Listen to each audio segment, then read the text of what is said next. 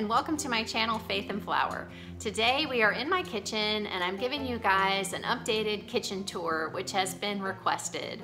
Um, I pretty much keep everything organized the same way as I showed you guys in my last kitchen organizing tour, um, but I was a little bit newer to YouTube at that time, so hopefully this one will be a little bit more fun to watch. And you guys see my kitchen all the time in my cleaning videos, but I'll be giving you a little bit more detail about how I store and organize things.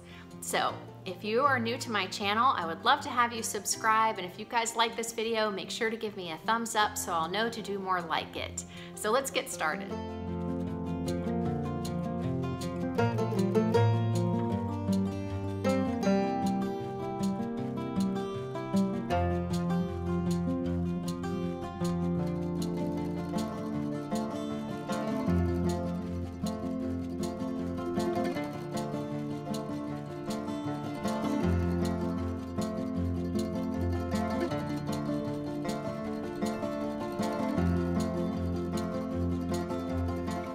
Gonna start with this cabinet that's to the left of our oven.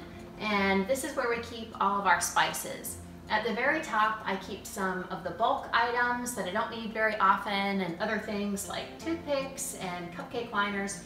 And then I have this um, Lazy Susan that has these little Tupperware containers and I keep a lot of my spices in here and spice blends.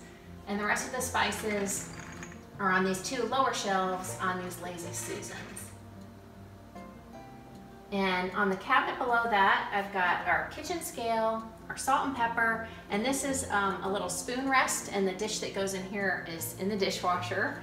And then in this cabinet, or drawer, I've got all of our pot holders. And I put this little drawer divider that I got from Amazon in here to just kind of keep everything from shifting around in the drawer when I open and close it. I also have lighter, matches, and most of our pots and pans are in the next two drawers. And I have these felt circles cut out because I used to stack our pots and pans and that would keep them from scratching. So now I just use them to protect the bottom of the drawer.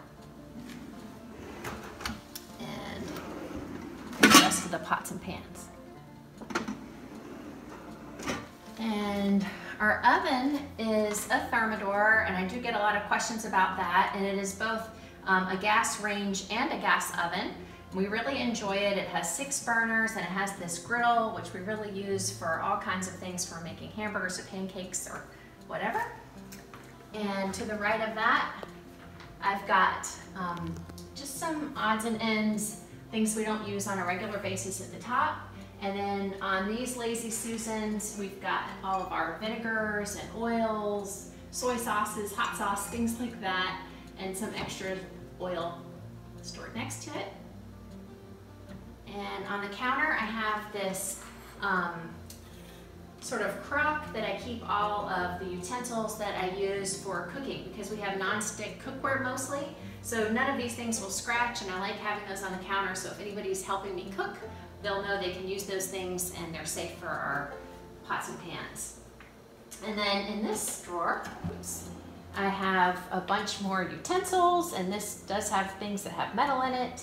Um, and I have them organized. I had a um, kitchen organization video posted a while back, so I'll link that above if you're interested in some more of the details.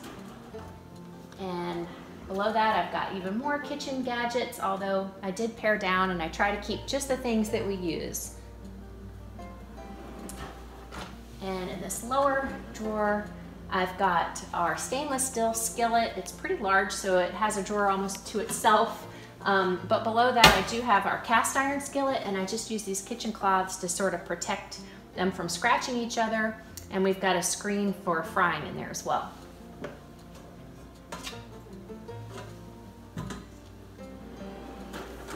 So on this side of the kitchen, to the left of the refrigerator, in this cabinet is where we keep all of our dishes.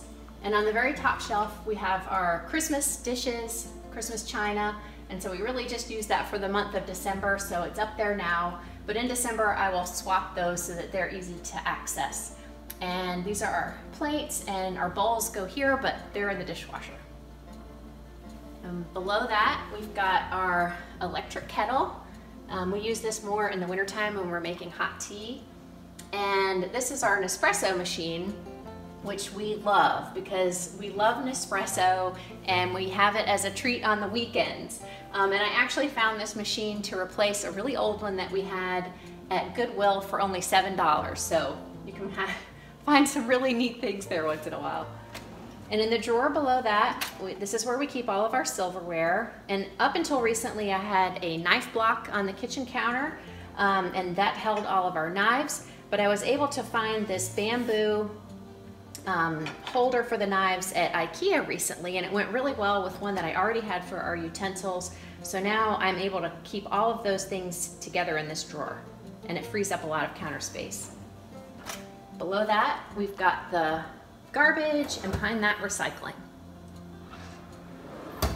And this is our refrigerator. It's also a Thermador. Um, all of our appliances mostly are.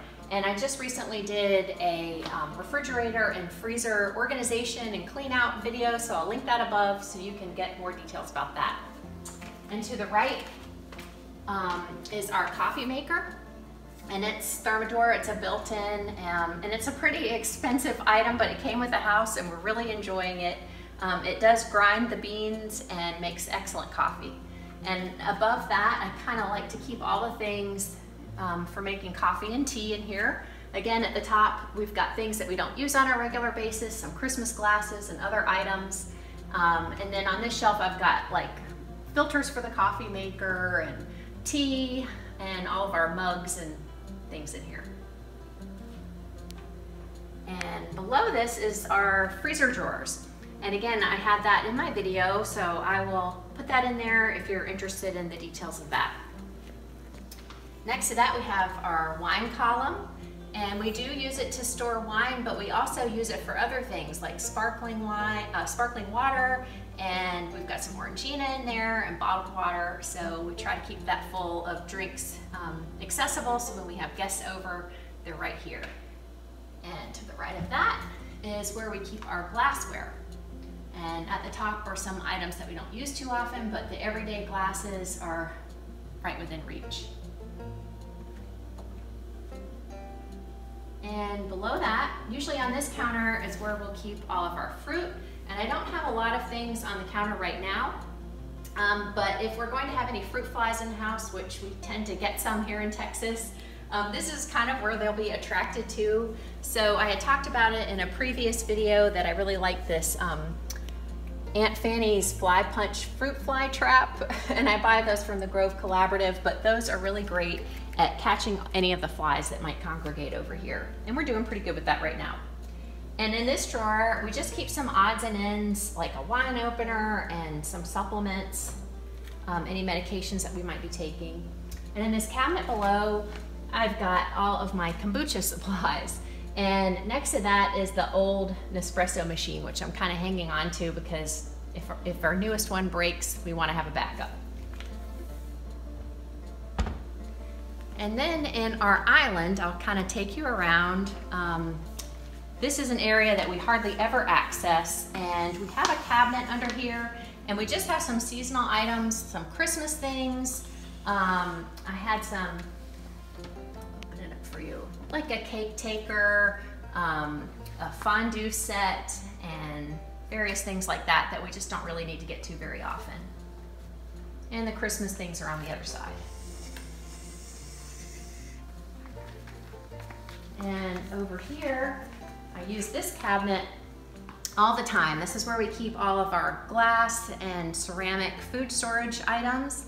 And I just use this plastic bin for putting all the lids. So I can slide that in and out and keep those from making a big mess in there. And around this side, we have a microwave drawer. And these are my Norwex cloths, of course. Um, so we really enjoy this drawer. It's really nice because it keeps the microwave sort of out of sight, um, but it's very easy to access. And below that is where I keep um, all of our food storage bags and foil and saran wrap and things. And under the kitchen, I actually have a video that shows you how I organize this. It's just very simple. I just like to corral everything in these bins because not in this house, but in a previous house, we had a leak under the sink. And so I just like having those there underneath the pipes. So if ever there were a problem, we could just pull it out and not worry about damaging the bottoms of the cabinets. And this is our dishwasher. And over here, I will just show you our eating area.